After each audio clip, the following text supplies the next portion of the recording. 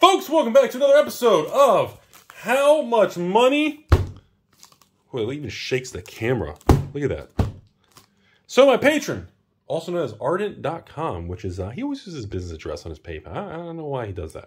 Anyway, so today, we are getting near the end of only two more videos left of Double Masters Collectors. The draft series already been retired. Um, beautiful case of eight, didn't she? So we are going to prep this thing as we always do. We're going to talk about what's happening as I do the setup here. And uh, she always looks nice, doesn't she? Here's a thumbnail for you guys, right? How about that? who cares? So, folks, hope everyone's having a good day.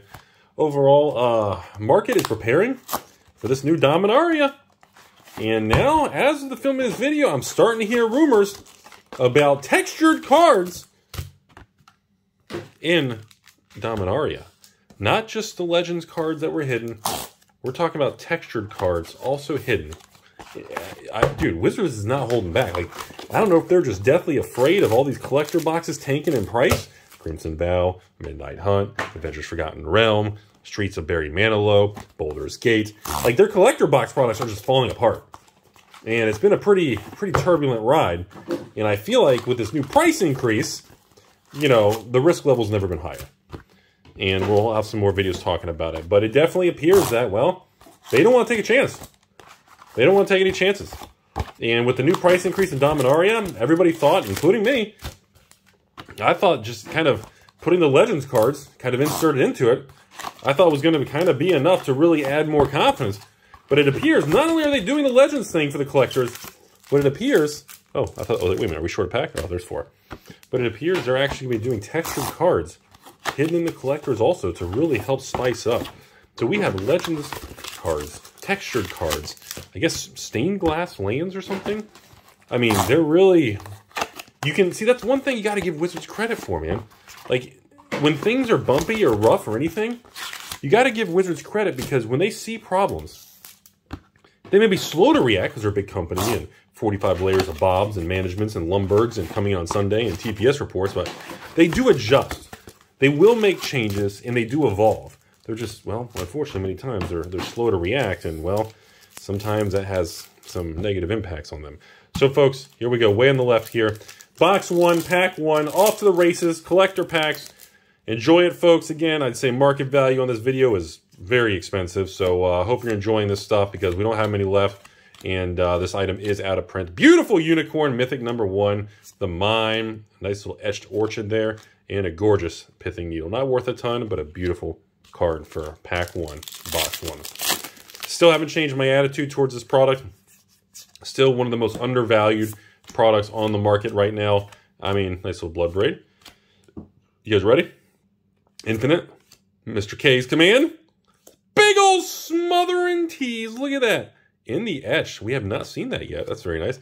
And our young and young, young and lovely Panharmonicon. Not bad at all, folks.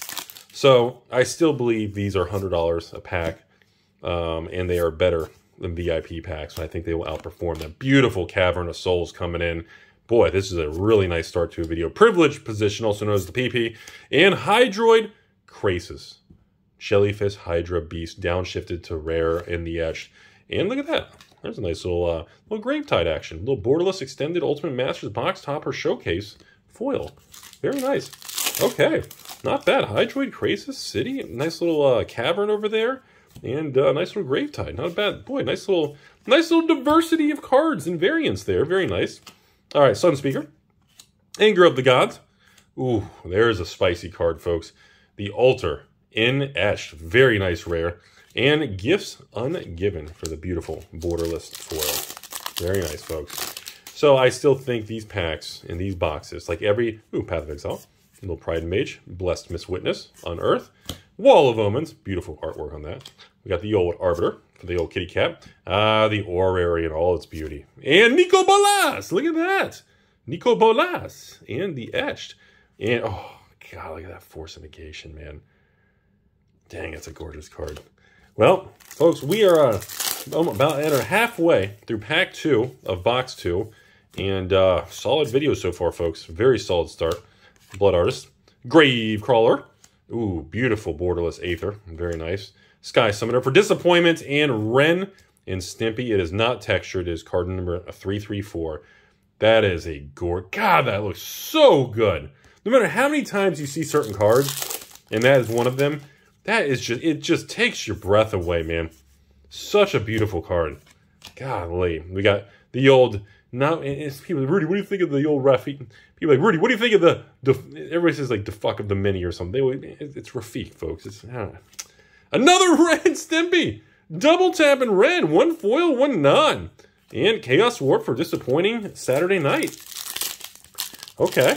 Hey, I'm not going to complain. Uh, here we go. Pack four of box two. And uh, double Ren and Stimpy with the old cavern. Uh, a double burning tree. That's a little strange. Okay. Beautiful. Beautiful Miss Kalia. Very nice for the foil mythic. City, a big old round ass. Always love the borderless city. Oh, here we go. Hostage Taker and the Bless. I still think Jumpstart. This is the same unicorn from Jumpstart, isn't it? That is our second unicorn of the video here. Uh, pretty solid video so far, folks. Um, definitely uh, a good diversity of hits. Beautiful Lightning Bolt, Flickery Whisper Whisperoonies. We got the Savant coming in strong. Imperial Seal for the win. Borderless Seal. And Partisan for lack of caring. And Supreme Verdict to make people hate you.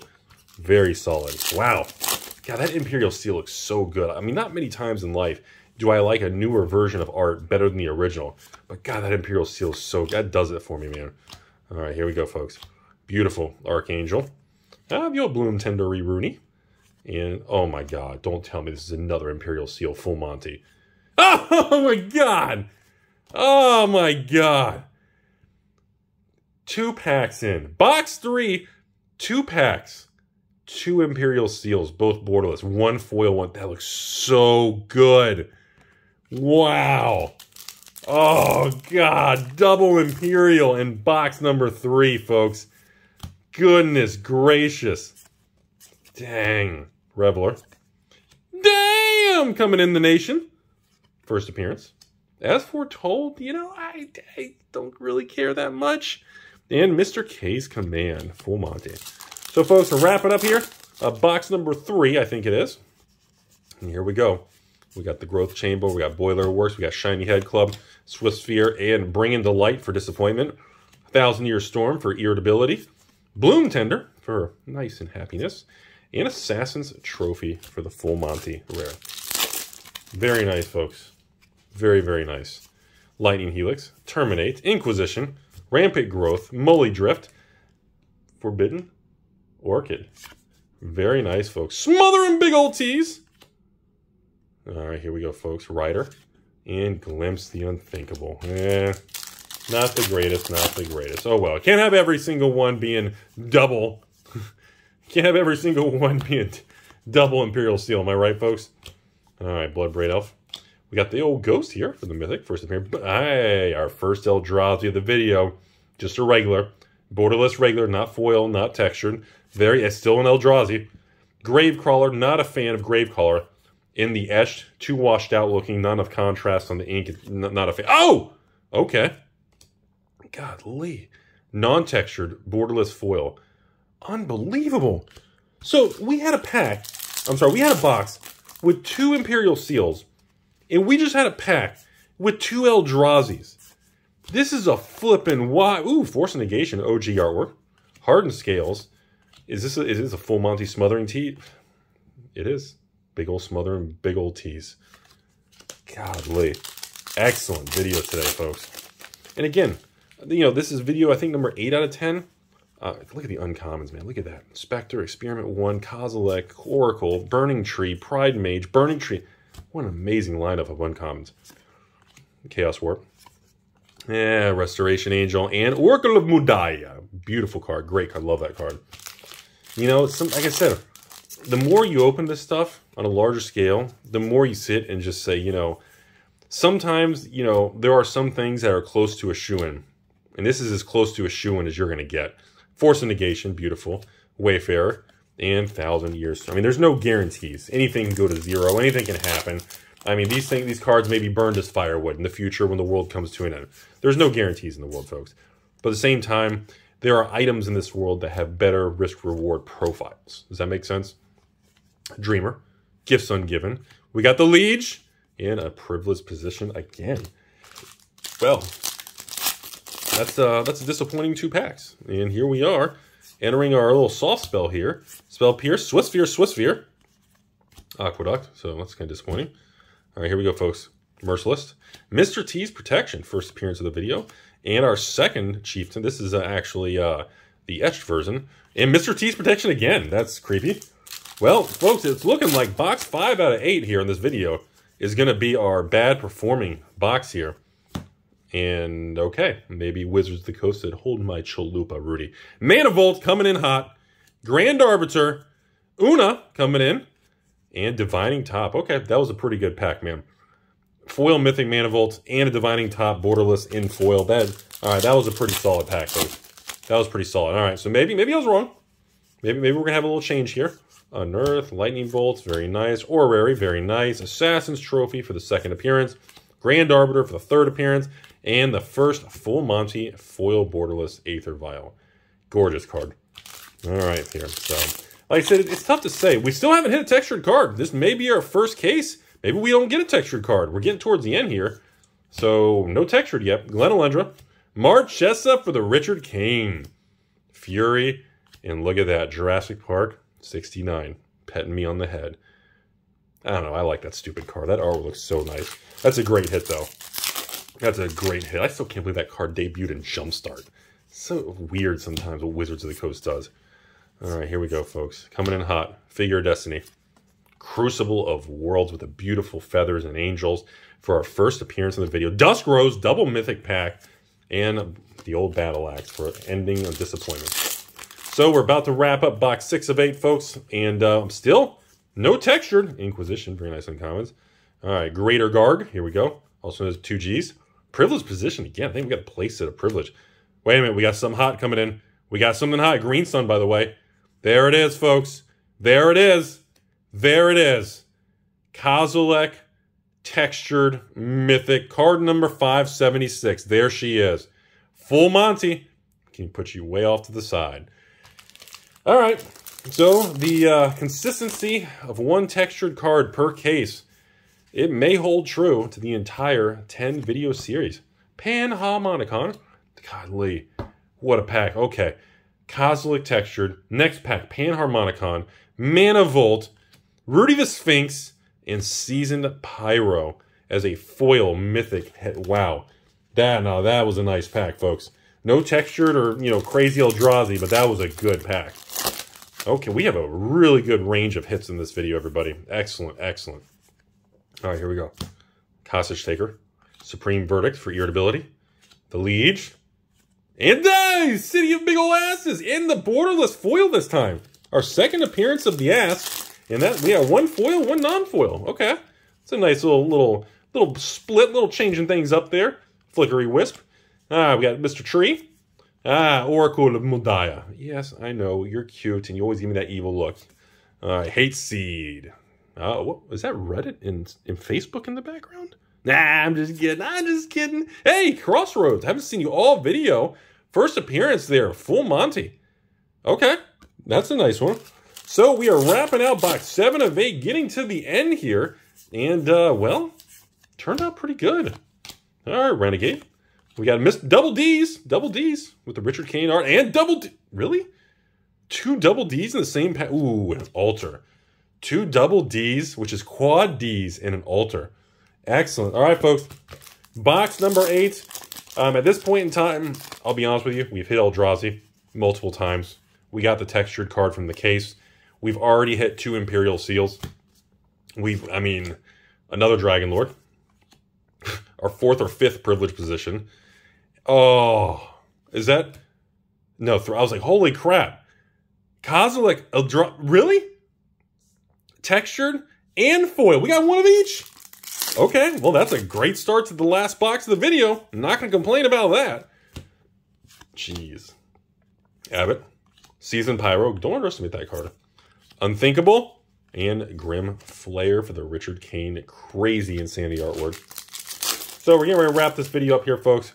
Another 15-minute journey of really learning about these products and how they uh, distribute them print runs and all that fun stuff. Hey, Sensei's divining and the gifts ungiven.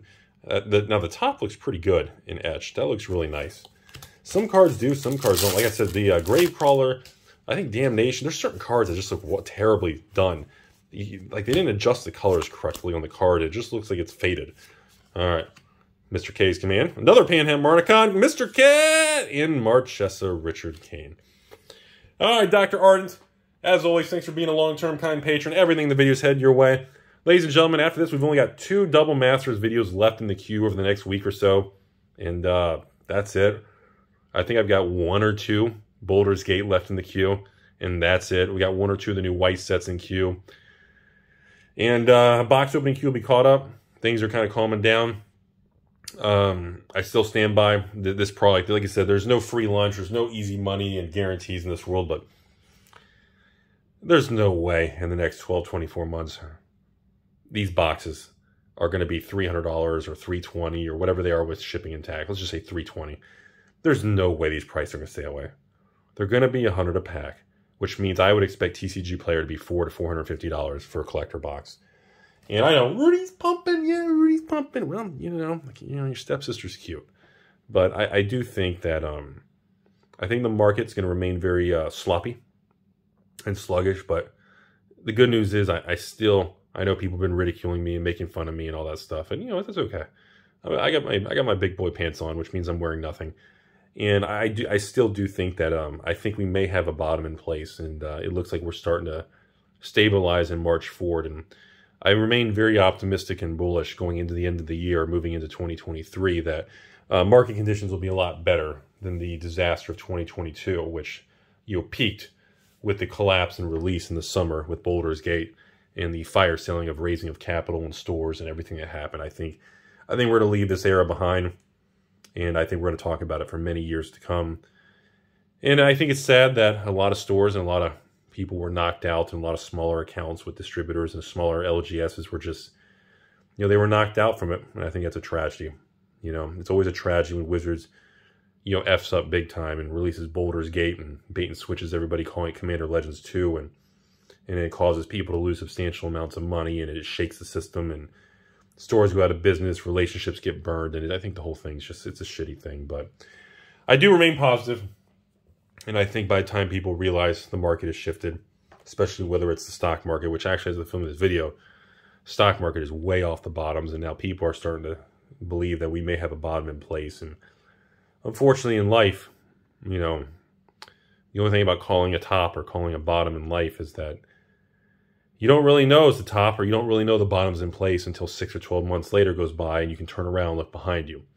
That's one of the crappy things about our society and, you know, economic conditions and data and metrics is that we don't know when the bottoms officially happen.